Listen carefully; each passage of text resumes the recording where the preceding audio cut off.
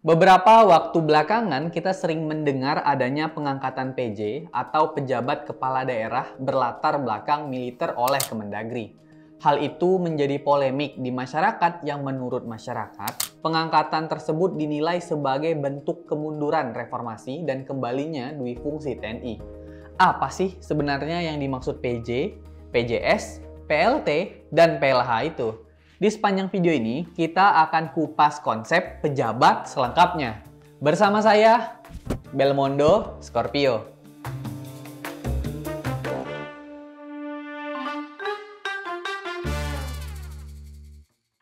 Yang perlu kita garis bawahi nih, teman-teman, bahwa penjabat dan pejabat adalah dua istilah yang berbeda. Nah, kalau pejabat adalah pegawai pemerintah yang memegang jabatan penting, Sedangkan penjabat itu adalah pejabat yang ditunjuk oleh institusi berwenang atau terkait untuk mengisi jabatan yang kosong atau belum resmi. Ya, istilah kata sih pejabat cadangan untuk menjabat suatu jabatan. Kemudian, gue yakin nih, kalau teman-teman sering mendengar pejabat disebut dengan berbagai istilah. Entah itu PLT lah, PJ lah, dan lainnya. Nah, maka dari itu, gue akan bahas istilah yang biasa dipakai untuk pejabat. Yang pertama, pelaksana tugas alias PLT. Mengenai PLT ini diatur pada pasal 65 dan pasal 66 Undang-Undang Nomor 23 Tahun 2014 tentang Pemerintah Daerah atau Pemda. Di sana disebutkan kalau PLT itu adalah pejabat yang akan dijabat oleh wakil gubernur, wakil bupati, dan wakil wali kota apabila gubernur, bupati, dan wali kota di suatu daerah sedang berhalangan sementara. Dan disebutkan juga kalau otoritas wakil kepala daerah sama dengan kepala daerah. Oke, kita lanjut yang kedua, yaitu pejabat sementara alias PJS. Nah, di undang-undang kita sih, istilah PJS itu merupakan turunan dari pasal 70 Undang-Undang Nomor 10 Tahun 2016 tentang perubahan kedua atas Undang-Undang Nomor 1 Tahun 2015 tentang penetapan peraturan pemerintah pengganti Undang-Undang Nomor 1 Tahun 2014 tentang pemilihan gubernur, bupati, dan wali kota menjadi undang-undang. Jika kita tarik kesimpulan dari undang-undang tersebut, kita bakal tahu bahwa PJS adalah pejabat yang akan menggantikan pada saat pasangan kepala daerah dan wakil kepala daerah petahana maju kembali dalam pemilihan kepala daerah atau pilkada. Kenapa?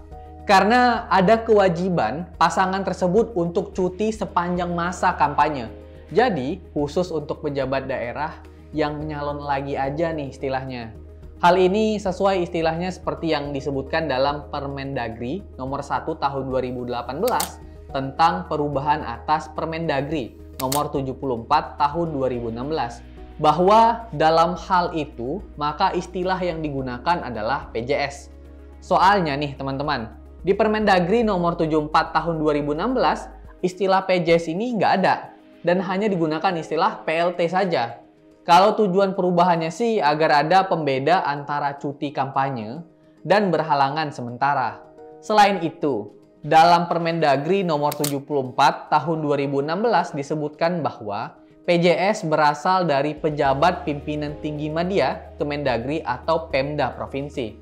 Tapi kini PJS disebutkan dari pejabat pimpinan tinggi media atau setingkat di lingkup pemerintahan pusat atau Pemda Provinsi.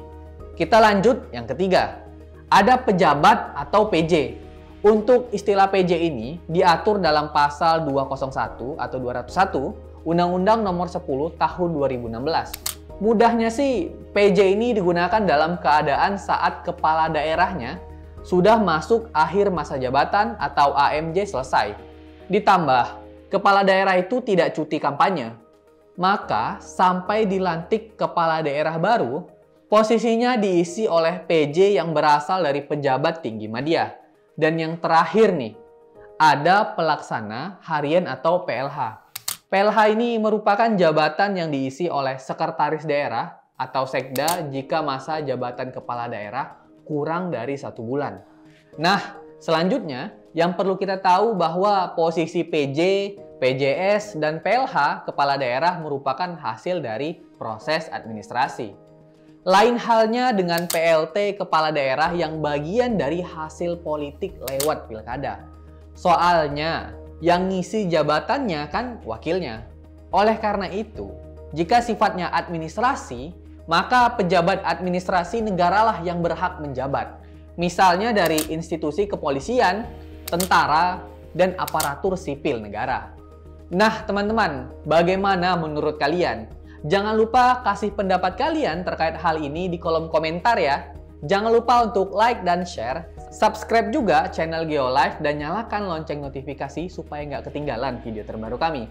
Saya, Belmondo Scorpio, sampai ketemu dalam episode Kupas Konsep selanjutnya.